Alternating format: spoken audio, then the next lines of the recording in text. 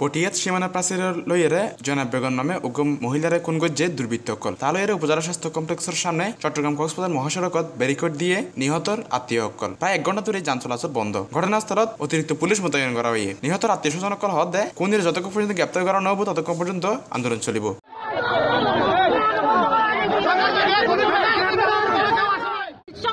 কেমনে মারা গেছে? কেমনে মারা গেছে। গেছে? আপনার জানালা দিয়ে পাথর মারছে। আর দুইজন ঢুকে ওনাকে শিবেও ধরছে বলে। আমরা তো ছিলাম না কিন্তু ওনারা ঘরে ঢুকে আমার জালটাকে মেরে ফেলছে। এখনও তিনটা বাচ্চা ছোট ছোট না।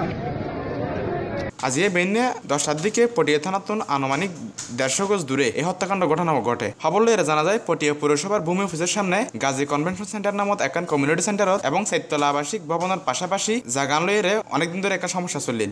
সাইতলা ভবনের মালিক প্রবাসী নুরুল আলম কমিউনিটি সেন্টারের সীমানা প্রাচীর ওই সাইতলা ভবনের জাগাতুন দুই ফিট দখল করি, গড়ে তুললে বলি অভিযোগ করি সম্প্রতি উপজেলা নির্বাহী অফিসারের কার্যালয়ত এখন আবেদন করা হইল। চার দিন আগে এই সীমানা প্রাচীর ভাঙি দিয়া হয়। এই ঘটনাত গাজী আসলামর আরেক ভাই গাজী গিয়াস বাদী হইয়ারে ফটিয়া থানাত এখন মামলা দায়ের করে। মামলা আমরা এসপি সাহেব এখনও আছেন দে।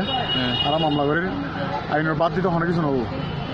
আরা শান্তিপূর্ণ কর্মসূচি যে আন্দোলন করি রুটত আসছিলাম আর প্রতিবাদ জানাই। এটা ওই জাগার বাড়ির এবং একটা কনভেনশন সেন্টারের সীমানা প্রাচীর নিয়ে বিরোধ। এক পক্ষ সীমানা প্রাচীর খুলতে গেলে বিরোধী পক্ষ বাধা দেয় একটা মহিলা মারা যায়। আমরা মৃত্যুর কারণ নির্ণয়ের জন্য পোস্টমর্টম পাঠিয়েছি এবং প্রতিপক্ষ যে বিরুদ্ধে ভিক্টিমের লোকজন এজার অভিযোগ দিচ্ছেন। যদি আমরা মামলা রেকর্ড করে আইনগত ব্যবস্থা গ্রহণ করব এবং আসামিদেরকে দ্রুত গ্রেপ্তার করতে সক্ষম হচ্ছিল desk news C plus TV. এই যে দেখো কেওয়াই এর মুরগি মার্কা ঢেউটিন দিয়া বানানো আমার ঘর। কেওয়াই এর মুরগি মার্কা ঢেউটিন লাগাইলেই হিট।